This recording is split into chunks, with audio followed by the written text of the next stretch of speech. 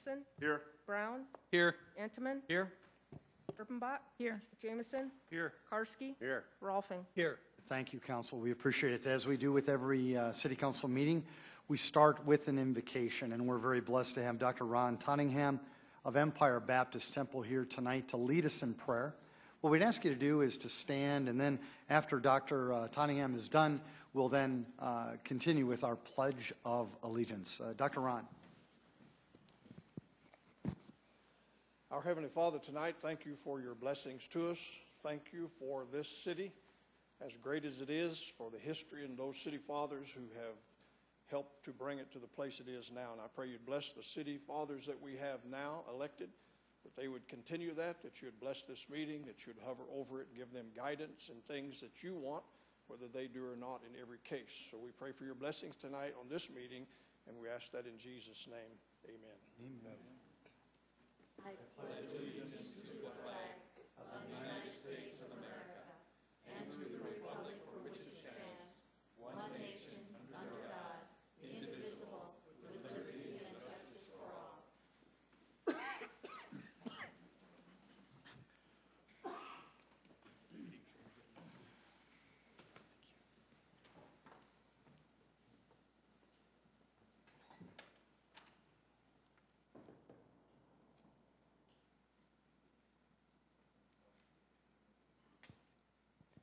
Well, good evening, everybody, and again, welcome. It's good to have you here tonight. I do have a couple proclamations, and I'm going to start with uh, uh, our first one is Drinking Water Week, and I'd like to introduce you to Greg Anderson and, and Trent Lubers, uh, who are both with our Public Works team, uh, and, and we're very, very fortunate to, to have you both here tonight. Uh, the first proclamation, whereas water is our most valuable natural resource. Whereas only tap water delivers public health protection, fire protection, support for our economy, and the quality of life that we enjoy. Whereas, any measure of a successful society, from maternal low mortality rates, economic growth, and diversity, productivity, and public safety, is in some way related to the access to safe water. Whereas, we are all stewards of the water infrastructure upon which future generations depend. Whereas, each citizen of our community is called upon to help protect our source waters from pollution, to practice water conservation, and to get involved in local water issues. Now, therefore, I, Mike Huether, Mayor of the City of Sioux Falls, do hereby proclaim May 6th through the 12th, 2012 as Drinking Water Week in Sioux Falls. Thanks, Greg. Thank you.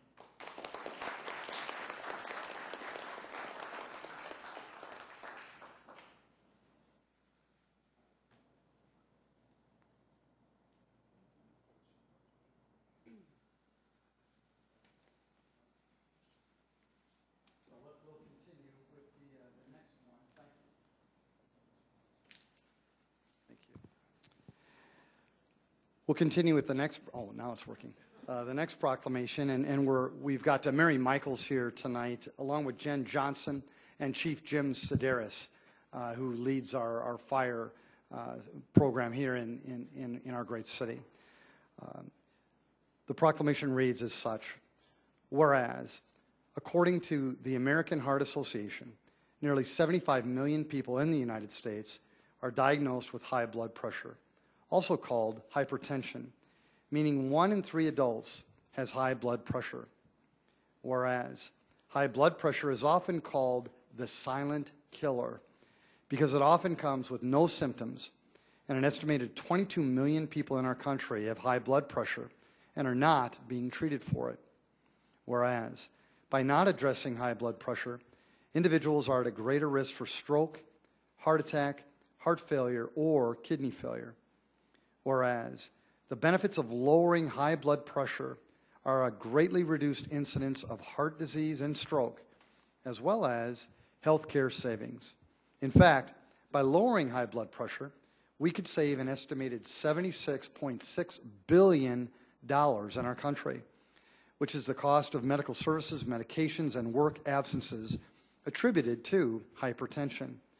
Whereas, all citizens need to know their blood pressure numbers, the risk factors contributing to high blood pressure, and how to take action to control high blood pressure.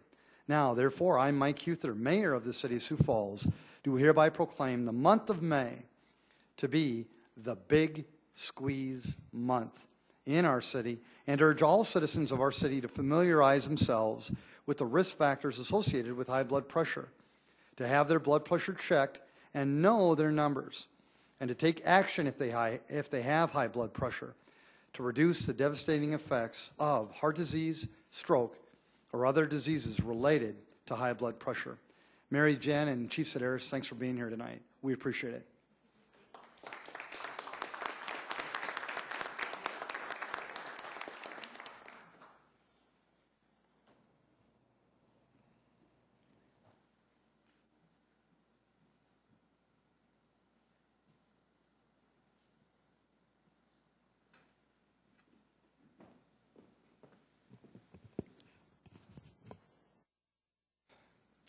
We'll now continue with uh, tonight's uh, City Council meeting with the consent agenda. Council, any changes or motions on tonight's consent agenda? Move to approve Anderson. Second, Erpenbach. Councilor Anderson Jr. has made a motion to approve our consent agenda, seconded by Councilor Erpenbach. If there is no discussion, a roll call vote, please. Councilors Karsky, Yes. Rolfing, Yes. Aguilar, yes, Anderson. Yes. Brown, Yes. Entenman, Yes. Erpenbach, Yes, Jamison. Yes. Thank you. That is passed eight to zero. Moving on with our regular agenda. Uh, Council, any changes to tonight's regular agenda? Move to approve, Mr. Mayor. Second, Rolfing. Councilor Brown has made a motion to approve tonight's agenda. It was seconded by Councilor Rolfing. Um, With no further comments, could we have a roll call vote, please? Councilors Karsky. Yes. Rolfing, Yes. Aguilar, yes, Anderson, Yes. Brown, Yes. Entenman, Yes. Erpenbach, yes, Jamison. Yes. Thank you. That is also passed eight to zero. Now we'll move on to tonight's public input. Um, Folks, you have an opportunity to engage the council uh, if you'd like. Um, Just come forward, introduce yourself to the council, and if you could keep your comments to five minutes or less, uh, we would appreciate it. Uh, But please, welcome. Dave, come on forward.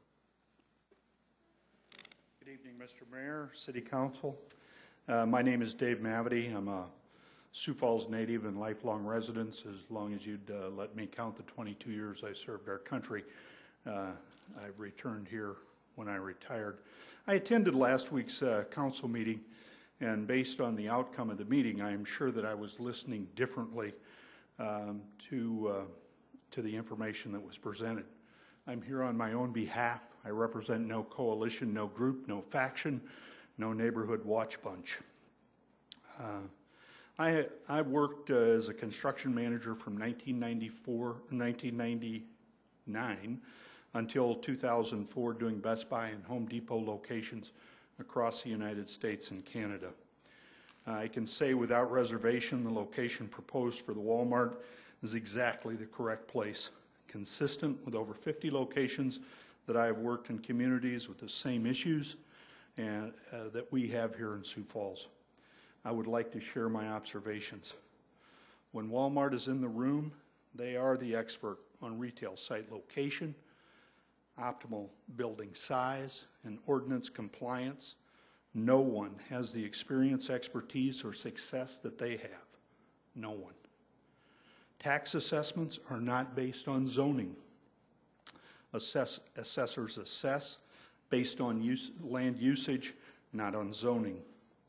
Neither the sitting planning office nor planning commission are in charge of tax breaks. Further, the city planning office made no errors on their slide presentation as it pertained to the 27 acres uh, of the neighborhood commercial area uh, when they spoke. Their stated goal of matching zoning to land use uh, was their sole agenda.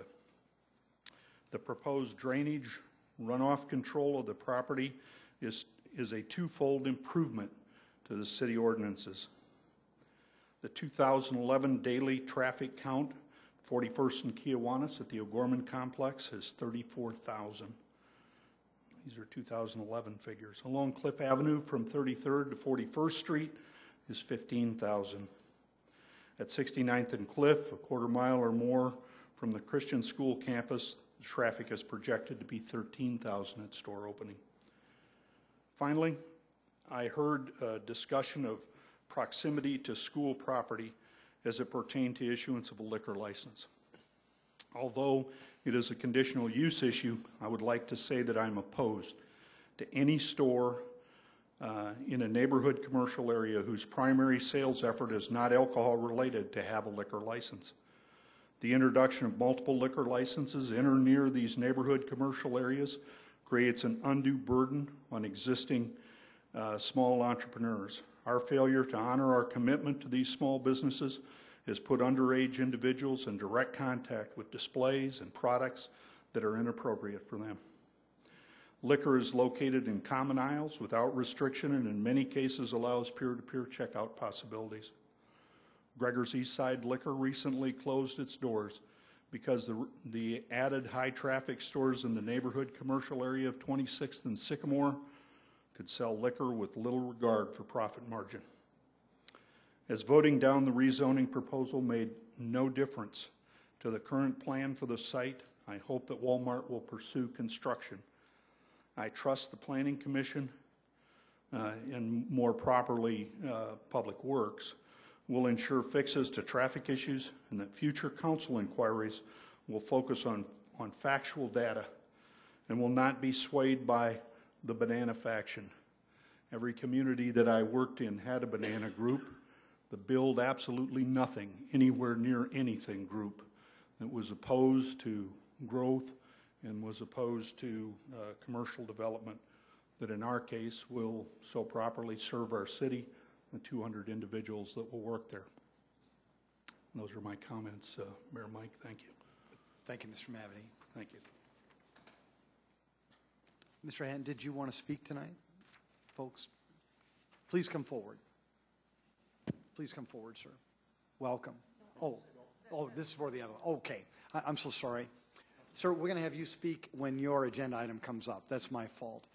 Is there anybody else who wanted to speak to the council on a topic that's not on the agenda? Well, very good. Then let's move forward to item number eight. Mr. Mayor, may I ask for a point of personal privilege? Yes, Councilor Brown, absolutely. I just wanted to introduce my daughter, Emma Brown, who's with me tonight, and uh, she's joining up here at the table with us. Emma, welcome.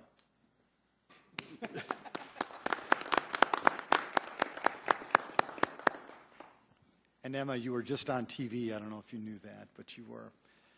And be proud of your dad, Emma. Uh, we'll now move on to item number eight. Deferred action from the meetings of March 12, 2012 and April 9, 2012, a resolution abating and refunding storm drainage fee assessments at parcel number 53604. Good evening, Mayor and Council. I'm Andy Berg with the Public Works Department. Um, Tonight, we're bringing forward a resolution for Mr. Marlon Hanton to have his drainage fees waived and a refund issued on his property. His property is located basically on the far north end of Sycamore Avenue on the west side, as shown on the map. Mr. Hanton owns 39 and a quarter acres, I believe. Uh, The drainage fee charged on this property each year is $1,823.87. The drainage fee is currently being charged as allowed per ordinance on a property within the city for maintenance of drainage, uh, drainage devices, pipes, uh, channels that serve this property and others in the town. Uh, Mr. Hanton would prefer to not speak tonight. He is here to answer questions, but has sent a letter that I believe you all received. So um, with that, uh, myself or Mr. Hanton will entertain any questions. Thank you, Andy. Appreciate it. Uh, Council, any questions? Yes, Councilor Brown. Andy, can you just give us a little bit more of a background on this? I'm, uh, we've not had much other than this letter and what's been in the notes. Um, Mr. Hinton came to us uh, a couple years ago. Uh, He had had um, differing charges on the property over the years. There'd been some inconsistencies on the property. We met with him got those issues resolved, and found the proper drainage amount for the ordinance. Originally, this land was an estate, which means it's basically a single-family residence over 100,000 square feet. Um, This one's 39 acres, so it's well over that. That gives it a 2.5 factor, so it charges him a X amount of dollars. He felt that was high, uh, and that there were issues that he dealt with that were development-driven upstream from him, and that he should not be paying that. In an effort to um, lessen that impact, we offered the specific site evaluation for the property that is allowed per the ordinance. And that evaluation basically takes the impervious surface actually on the site versus the assumed amount for that type of land use and calculates the factor based on that. And that brought it down from a 2.5 to a 1.75, and that brought it down to this $1,823 mark.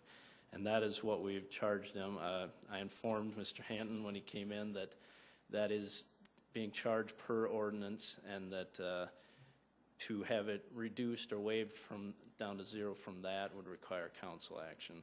And as you'll see in Mr. Hanton's letter, his main concerns are damage to his property from development upstream, mostly single-family in that area, uh, damage to ponds, and um, just drainage ways throughout his property that he's had to do the repairs on in the past. Looking at this piece of property, is this unique compared to others? Is, is there something very unusual about this piece of property that uh, would make it different from others? Well, it's very large to be in town, obviously. Uh, we have other properties in town that are this size or bigger that are ag land, designated as ag. Those properties are not charged a drainage fee, and that ag designation is made by the county. They, uh, there's criteria per state law that has to be met to be an ag zone property. Uh, One of those criteria is that it be 40 acres or more. It used to be 20 acres or more, and the county changed that within the last five years or so. Um, So he no longer meets that 40 acre requirement. He's unfortunately just a shade under that, but uh, per the letter of the law, he does not meet that. So his property is deemed, I believe, single family, so. And there are actually drainage pipes or items on his property that the, the city has in place? Not on his property. The, the closest pipe is under Sycamore Avenue. There, there's a parcel just to the southeast of there that drains under Sycamore Avenue, the water from that single family to the east there. That comes under Sycamore Avenue, comes down that wooded area that the pointer's pointing at right now, and flows north and west through Mr. Hanton's property. And so, if I understand you correctly, i- he's under 40 acres, but, but that's not something this body can make any sort of a decision on. That's a county issue. Correct. The, the only way that we can do it is by this resolution abating the fees because it's deemed in unjust uh, fee, uh, unjust uh, charging of those fees. Um, The, there is no pro- uh, pipe on his property. The nearest pipe downstream that would handle Mr. Hanton's water would be the pipes flowing under um, Rice Street. Counselor Anderson Jr. Andy, you stated a little earlier that uh, the rule for this used to be 20 acres, and then just recently it was changed? Correct. Why wasn't this property grandfathered in then? Because it hasn't changed in that whole time as, as it appears. I'm not sure what the reasoning was from the county to change that. They're allowed to have it all the way up to, I believe, 160 acres per the state law. They had it at 20, and they changed it to 40, and I don't believe anyone was grandfathered in. Now, when, there are three criteria, and you have to meet two out of the three. The others involve having a certain percentage of your family's income generated from ag activities and uh, the land use of the land itself, like for grazing, that type of thing. So, okay, but going back to where it was 20 acres, we didn't charge this property at that time then, correct? We're only charging now because the county changed something? I don't believe so. Uh, We, we haven't gone that far back into the books, but uh, I know it was zeroed out in some years in the past, but the last handful of years or so, it's been charged a fee. Like I said, there were some inconsistencies on what he was being charged, and those were dealt with with my predecessor, but uh, he's been charged for the last handful of years for the drainage fee, and that's roughly probably about that same amount of time that it, since it's been changed from 20 to 40. Thank you. Counselor Karsky. Andy, what are the, excuse me, the uh, purposes of drainage fees? What, what benefit to the landowner is there that the city charges them for a drainage fee? What is the ultimate purpose of it? The drainage fees are used to fund our drainage capital improvements program. Uh, So uh, the large projects for replacing failing pipes, that type of thing, constructing ponds, uh, regional ponds throughout town, and maintenance activities, the jetting out of pipes that have been silted in, the uh, fixing of flared end sections, just general maintenance, the televising of the pipes to ensure their condition is good, and replacing those that are not. So is Mr. Hanton then receiving some benefit from being charged these fees? I mean, directly to his land? Not directly on his land, no. We, we don't have any public infrastructure on his property. It would, the benefits to him would be, you know, driving down the streets, driving to his home, the storm sewers in those areas, the storm sewers downstream conveying the water. If I could, one more question. Uh, The city, when did the- we annex him in, and is he completely surrounded by the city limits? I do not know for sure when he was annexed in. I believe he is surrounded by city lim, uh, by city annexed property though. On all sides? Okay, thank you. Uh, Counselor Rolfing. Thank you. Um, Andy, um, when did this law change from 20 to 40? Can either one of you answer that question? I, Acres? I don't know the exact year. It, it's within the last four to six years, I would guess. And that's the time that he started paying this $1,800. Is Well, that what the, you're the telling eighteen hundred dollars was just set this last year when we did the evaluation, but he's been charged drainage fees in, in at least the Since that past four time? years. Yes, Since that time? I believe so, yes. And he's been paying that during that time, up until Yes. that time? Yes, he was, one of the inconsistencies, he was overcharged, I believe, two years ago, and we refunded the We difference. Refunded, that's right, that, I remember that in your, in something there. Um, What is that land used for now? Or maybe we should be asking Mr. Hanton that. Yeah. Could I ask you that, Mr. Hanton, or do you have somebody who wanted to speak for you? Would you? Mr. Hannon, would you just introduce yourself I'm to the Dwayne people? Anton, Marlon's son. Thank you, sir. Okay, And, what and your first name? Dwayne. Dwayne, thanks, Dwayne. Dwayne. What is this land being used for now? Oh, it's nothing really. It's, uh, it, when we first, when dad first bought it, it was a wildlife refuge. And that's basically what it still is. Okay. And, and as I remember uh, hearing something, he carved out that little quarter acre there for, is that your house? Yes, Okay, and sold that to you or gave it to you for, uh, for a place? Otherwise, this would be 40 acres and still be part of the, that's correct. part of the, uh, it- it'd qualify as 40 acres. That's correct. Uh, And that was done before the, what time, when was that done? How long have you lived there? Since two thousand. Okay, 12 years ago. Um, Okay. um, Okay, that's what I have, I need. Thank you, Counselor Rolfing. Well, Council, would anybody want to make a motion on this item? Uh, Counselor Erpenbach? Mr. Mayor, I would move approval. Second Aguilar. Counselor Erpenbach's made a motion to approve this item. It was seconded by Counselor Aguilar. Is there any discussion uh, on this? Very, very good. And if we could have a roll call vote, please. Counselors Karsky, No? Rolfing, No, Aguilar, Yes. Anderson, No. Brown, No.